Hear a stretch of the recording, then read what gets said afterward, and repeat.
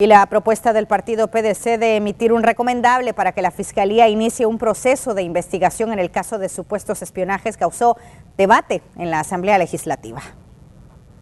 Recomendar una investigación a la Fiscalía en el caso de supuestos espionajes, lejos de alcanzar acuerdos y consensos en la Asamblea Legislativa, causó un acalorado debate y señalamientos entre partidos políticos.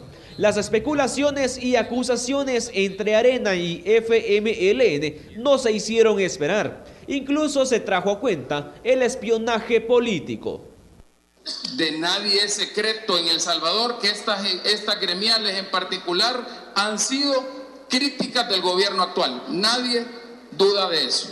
¿Y quién no me, me asegura a mí que el espionaje no es de adentro? Pues yo no me imagino unas instituciones como esas que tienen seguridad sofisticadísima.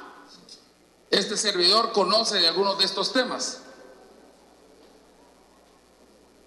Y yo con toda claridad les puedo decir que en nuestro país sí existe un espionaje político.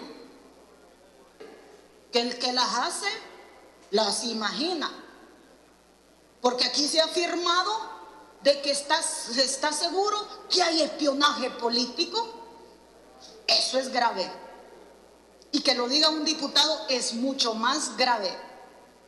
Porque si sabiendo que hay espionaje político no se denuncia, no se le da la información a la fiscalía, entonces se convierte en cómplice.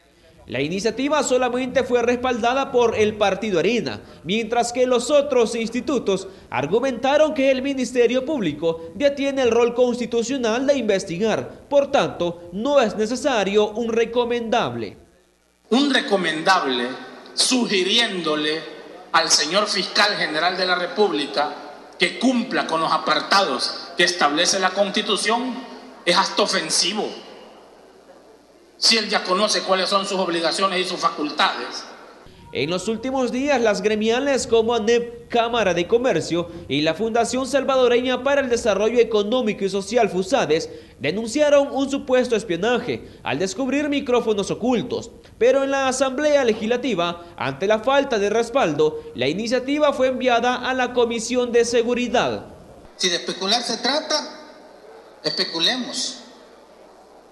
Ahí solo los representantes y miembros de FUSAD en la Cámara de Comercio y podemos mencionar quienes cotidianamente están presentes en estas instituciones. ¿O será que habrá un espionaje entre ellos?